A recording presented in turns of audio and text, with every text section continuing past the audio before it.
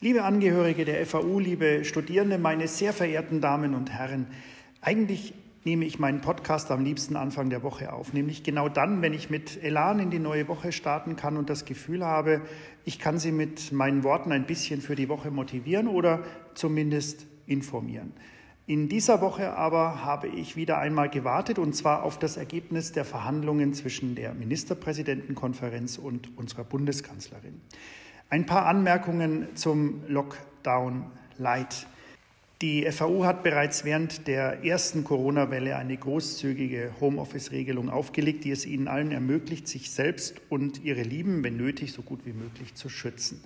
Wenn die Schulen nun deutlich früher in die Ferien gehen als geplant, wenn sie daheim Kinderbetreuung zu bewältigen haben oder sich tatsächlich in freiwillige Selbstquarantäne begeben wollen, um Weihnachten mit ihren Lieben verbringen zu können, dann machen Sie bitte von dieser Homeoffice-Regelung unserer FAU Gebrauch.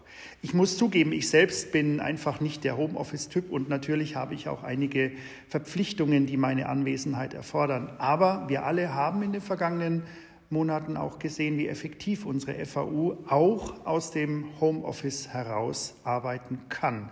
Und ich weiß, Sie sind alle mit vollem Engagement dabei.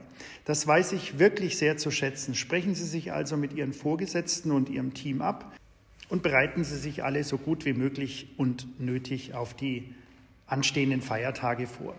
Bis freilich die Universität am 24. Dezember in der traditionellen Schließung zum Jahreswechsel ganz kurz in einen Standby-Modus geht, tut sich aber auch noch einiges. Zum Beispiel in Bezug auf unsere Bauprojekte an der FAU. Am heutigen Donnerstag zum Beispiel bin ich Gast im Stadtrat der Stadt Erlangen. Dort soll ich zum Wissenschaftsstandort Erlangen berichten und tue dies natürlich mit großer Freude. Denn in diesem vergangenen Jahr hat Corona einmal außen vor gelassen, an unserer FAU sehr vieles geklappt, was für uns und unsere Weiterentwicklung sehr wichtig war.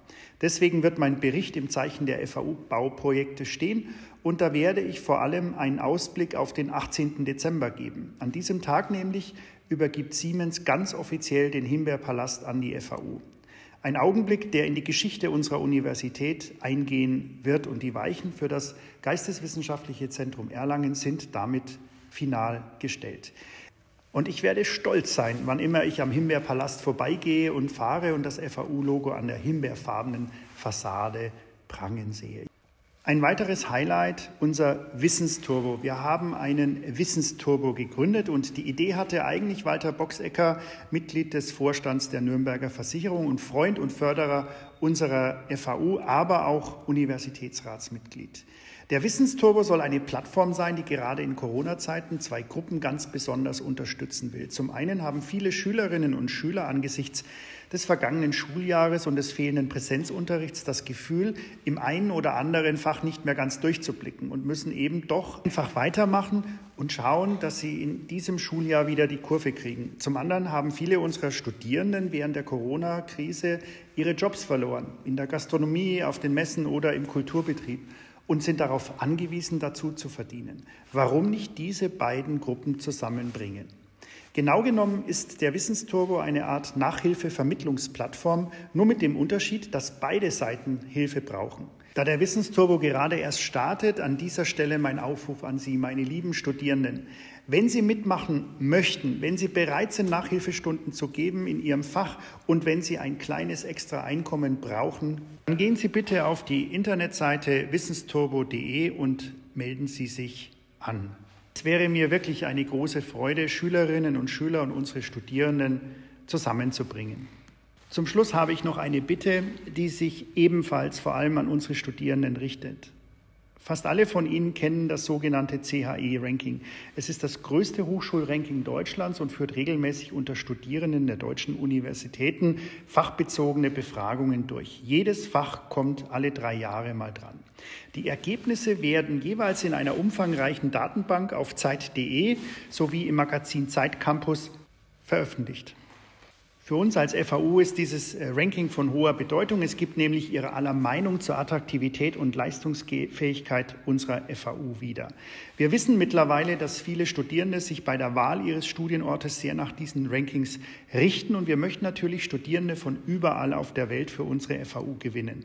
Mit einer Teilnahme an der Befragung können Sie, liebe Studierende, das Bild Ihrer Alma Mater nach außen aktiv mitgestalten. Bitte nehmen Sie sich die Zeit und wenn Sie hier an der FAU glücklich sind, dann teilen Sie diese Erfahrung mit anderen jungen Menschen auf der ganzen Welt.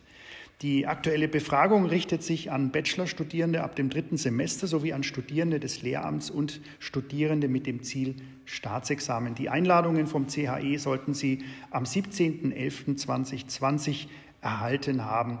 Und noch bis 31. Januar des kommenden Jahres haben Sie die Möglichkeit, Ihr Votum abzugeben. Bitte tun Sie es. Vielleicht haben Sie ja über den Jahreswechsel ein bisschen Zeit und Muße dafür. Zum Abschluss das Thema Corona.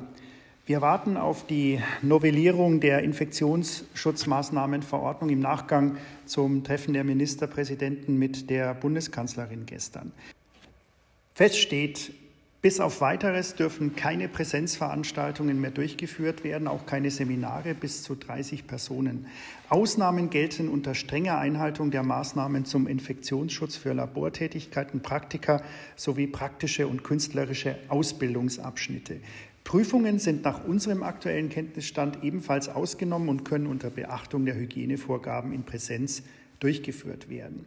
Wir bitten alle um Verständnis, dass die weitere Konkretisierung erst mit der Novellierung der Infektionsschutzmaßnahmenverordnung erfolgen kann. Dahin können wir auch keine Nachfragen verlässlich beantworten. Wir werden Sie aber auf dem Laufenden halten. So, und jetzt schon mal vielen Dank an alle. Und das war es auch wieder von mir für diese Woche. Ich wünsche Ihnen allen noch zwei produktive Tage bis zum Wochenende und dann ein bisschen Erholung. Vor allem aber bleiben Sie gesund.